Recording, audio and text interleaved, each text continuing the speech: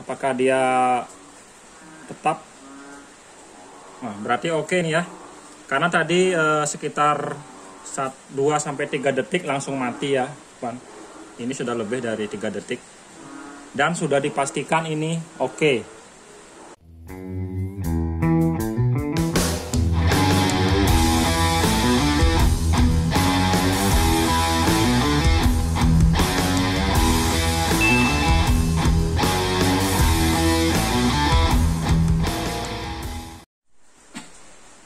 Halo semua, jumpa lagi di Ingin Tahu Channel. Jadi eh, selamat datang buat teman-teman yang baru bergabung di channel ini, yang baru menonton video ini. Jadi jika video ini bermanfaat silahkan klik tombol subscribe dan like video ini karena subscribe itu gratis.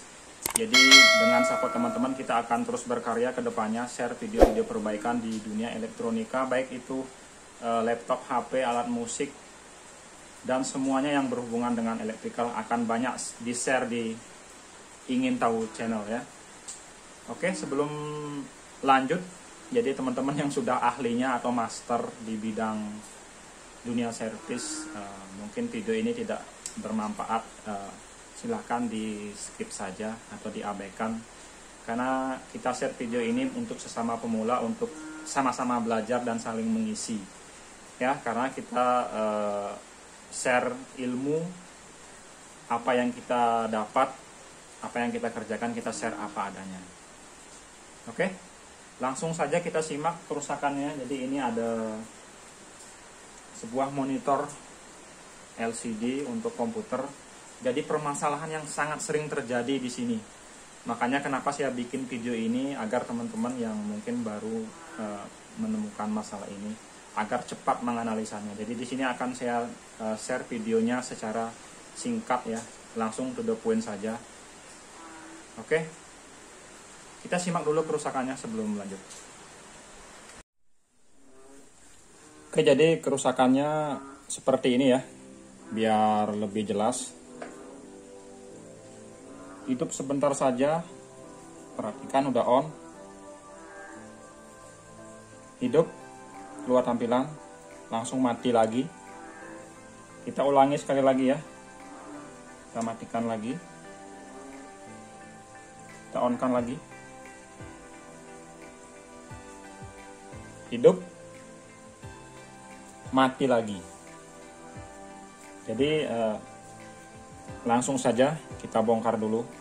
Semoga masih bisa diperbaiki jadi jangan di skip ya, biar uh, step by step teman-teman sekali menonton pastikan paham. Jangan sampai buang-buang waktu menonton video ini dua kali. Oke, lanjut kita bongkar dulu.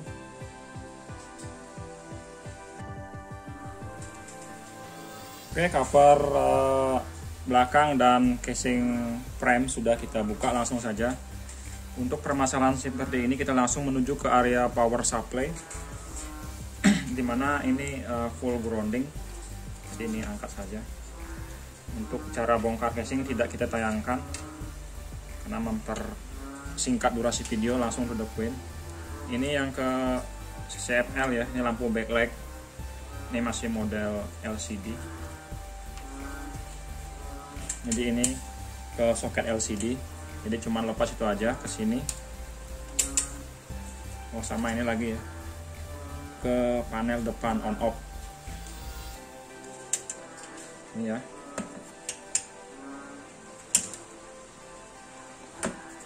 Kita buka dulu.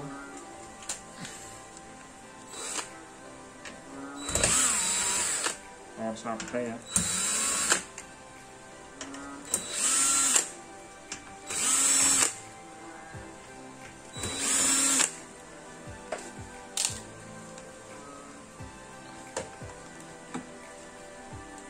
karena tadi uh, sempat hidup nih jadi kita pastikan dulu.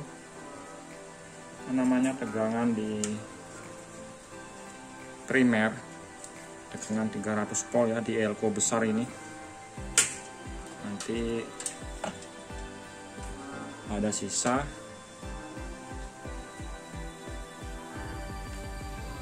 Sudah habis ya sudah aman. Jadi pastikan itu uh, tegangannya karena tegangan tinggi bisa kesetrum. Pertama adalah kita cek fisik.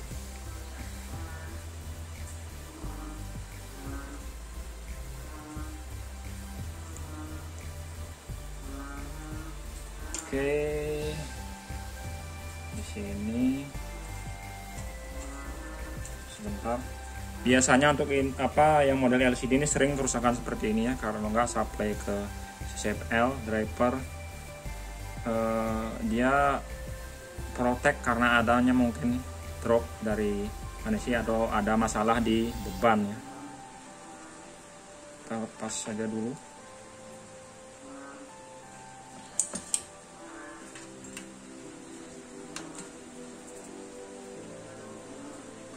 Dan tanpa berlama-lama seperti yang dibilang tadi di awal kita pertama eh, pastikan cek fisik komponen. Elko elko ini terutama ya tidak ada yang apa namanya kembung bodinya masih bagus. Itu tanpa pengukuran tapi eh, cek fisik atau body. Biasanya ada yang eh, merekah ya atau gembung tapi di sini aman. Kemudian kita fokus ke area inverter. Ini masih belum pengukuran, kita cek fisik. Dan di sini kita langsung menemukan ini kapasitor keramik meledak ya. Jadi kapasitor keramik ini meledak sampai keluar, sorry, ini sampai hitam ya gosong. Jadi isi dalamnya keluar sampai meledak. Jadi coba kita copot ini ya kita lihat nilai sebelahnya sama ya jadi ini ada uh, 3 KP sebentar kita lihat dulu nilainya. Dilihat body N3 karena saya juga kurang hafal. Kita lepas saja dulu yang kapasitor yang kebakar. Ini ya kita copot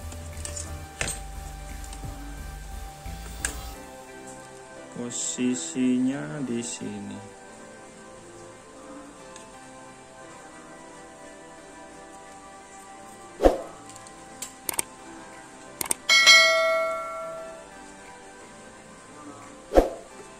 Sampai kropos. Ya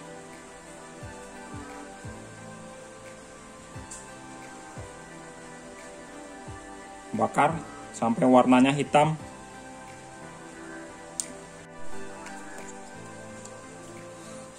Jadi sudah kita carikan pengganti ya ini. Ya.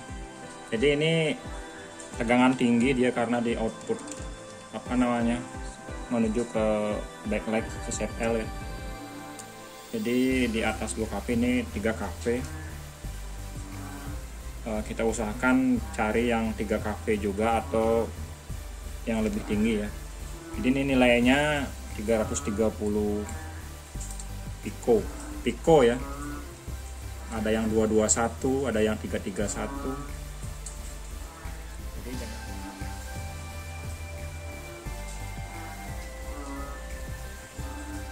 langsung saja kita pasang tadi ini ya. Ini ada bekas kebakarnya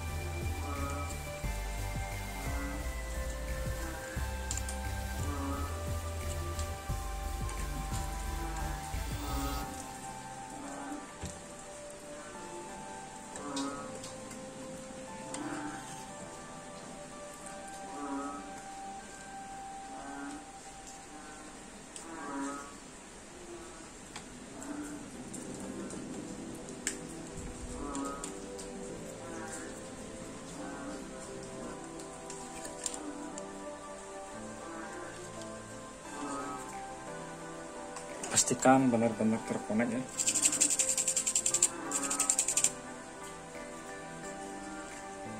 Oke sudah terpasang. Ini ya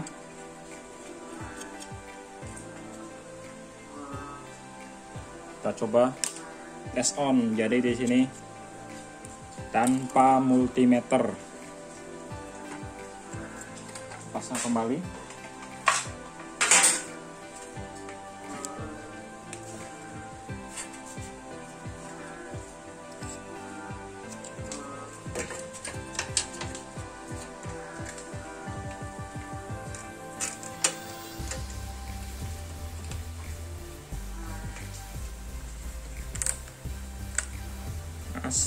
kembali ke posisinya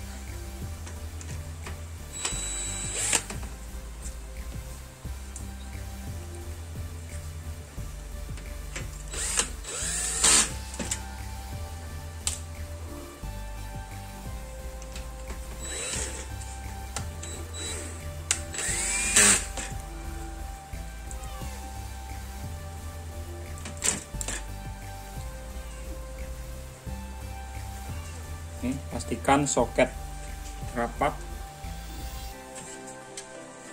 Balik.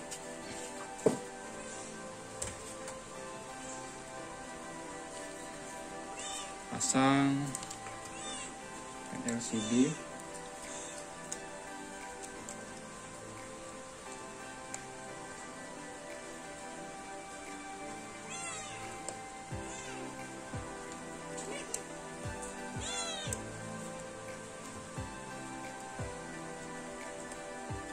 Kemudian ini ya ke CCFL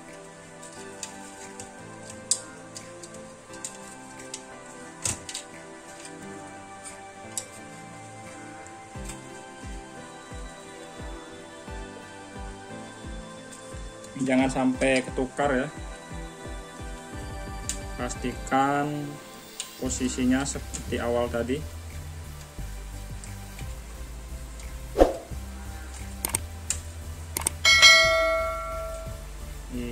ke oh ini ke speaker.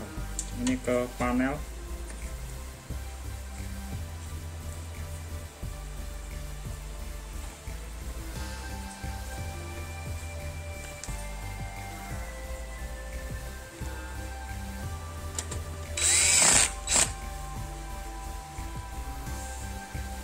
Pasang dulu frame top ya sama samping biar lebih mudah pengetesan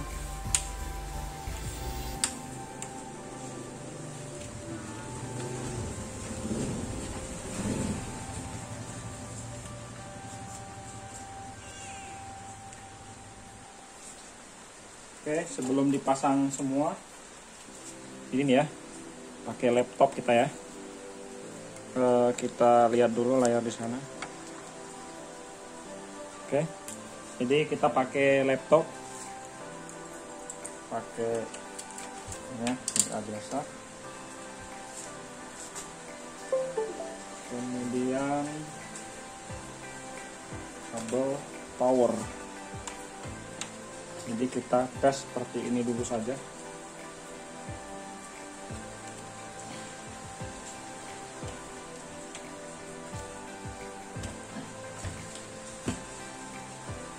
kita balik saja. Sebentar. Oke jadi lampu kita matikan saja biar ini kawan-kawan ya indikator menyala. Lampu depan dimatikan. Keluar. Apakah dia tetap? Nah, berarti oke nih ya. Karena tadi eh, sekitar 2 sampai 3 detik langsung mati ya Bang. ini sudah lebih dari 3 detik dan sudah dipastikan ini oke. Bagaimana? Jadi sangat mudah ya. Jadi di sini eh, saya share to the point saja. Tidak ada melakukan pengukuran tegangan karena di sini eh, maksudnya biar teman-teman menyimaknya lebih mudah ya biar lebih cepat. Jadi yang rusak adalah ini. Kapasitor keramik 330 pico 3 kV 3 kilopol.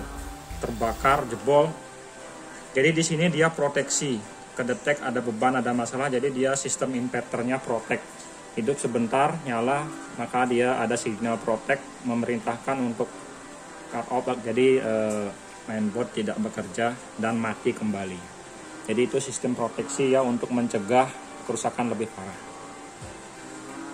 Oke ya, sampai di sini semoga. Oke, sampai di sini dulu ya. Jadi e, bagaimana sangat mudah. Jadi di sini bukan permasalahan mudah atau tidaknya atau seberapa besar atau seberapa mahal spare part yang kita ganti, tapi di sini adalah masalah kita analisa atau memahami e, dari unit yang akan kita perbaiki. Jadi teman-teman di sini mari kita sama-sama belajar ya. Jadi karena ini kita share khusus buat sesama pemula sama-sama belajar di dunia elektronika mari kita saling mengisi jadi jika video ini bermanfaat jangan lupa untuk klik tombol subscribe karena subscribe itu gratis dan like video ini karena dengan support teman-teman ke depannya kita akan terus share video-video perbaikan di dunia elektronika baik uh, perakitan dan juga review tooling service. Oke sampai jumpa di video selanjutnya. Salam sukses buat kita semua. Bye-bye.